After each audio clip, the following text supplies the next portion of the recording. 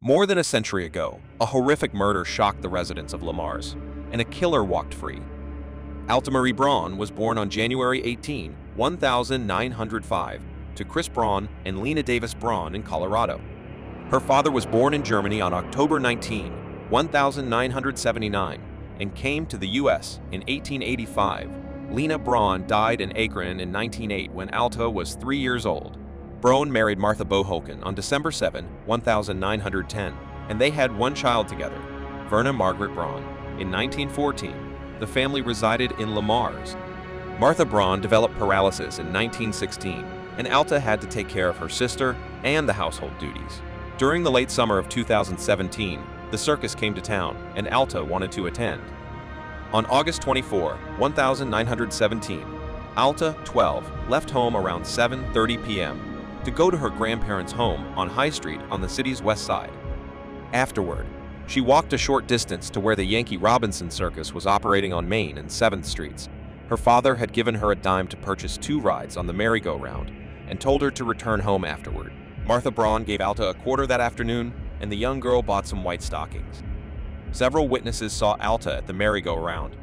According to early reports, Alta left the circus and walked to Vienna Bakery, where she purchased a five-cent sack of candy. Alta then joined Mrs. Tom Adney, walking together toward Alta's home at Cedar and Tremont. Adney lived on Cedar Street between 4th and 5th Streets. Alta parted ways with Adney around 9.30 p.m. to walk the rest of the way home and assured Adney that she was not afraid to make the trek alone. Braun arrived home around 11 p.m. and assumed his daughter had returned from the circus and was asleep in bed he called her for breakfast the following morning, but she did not respond. He went to her bedroom and discovered she was gone and had not slept in her bed. Braun telephoned his father, father-in-law, and Alta's friends, but no one had seen her. He then called the police. At 11 a.m. on August 25, 1917, a neighbor told Mrs. Herman Becker that a dummy figure was lying in the nearby alley. Becker lived close to Adney.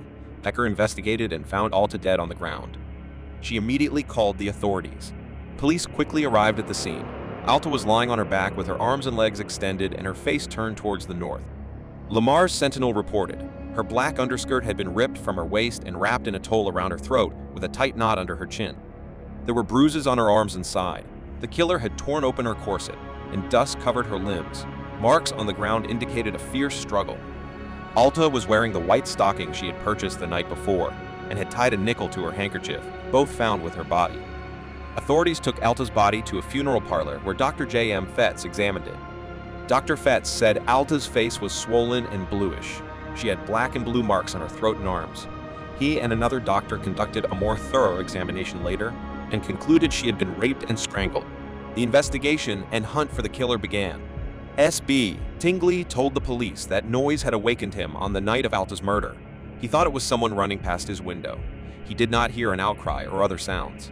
Tingley lived near the railroad tracks, close to where Alta's body had laid. Outside the window, police found spilled candy, which suggested that was the spot where the assailant first attacked Alta. Police theorized that after parting with Adney, the killer grabbed Alta while she walked alone, dragged her into the alley, and raped and strangled her. A local man named Elmer Pearson was at the circus on the night of the murder. He claimed to overhear a black man at the merry-go-round saying he would get the girl before morning. However, there was a question of whether the girl was Alta. Police learned that several black men were seen at the merry-go-around when Alta was present. About a week after the murder, the sheriff of Carroll County arrested a black man named Edward Nelson and held him for investigation, Deputy Sheriff Jazz. Sickler then transported Nelson to Sioux City and placed him in the Woodbury County Jail. Nelson admitted to working for the circus but denied killing Alta, he said he had left the job but could not remember the town's name that he had left. Nelson was found washing his overalls at a river near Carroll that reportedly had blood on them. However, police later determined he had been washing off vermin from his clothing, the Le Mars Sentinel stated.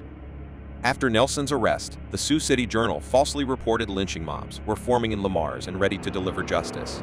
However, the sheriff denied it and said deputies never took Nelson to Le Mars, and there had been no outcries for his hanging. The locals did want the police to catch Alta's murderer and punish him, however, investigators brought Pearson in to identify Nelson as the man who warned he would get the girl, but Pearson said the man was not Nelson. In late August 1917, another black man, Charles Smith, had been charged with the murder of a woman in Florence, Nebraska, and held in an Omaha jail. The crime was similar to Alta's murder. However, the police could not tie him to her killing.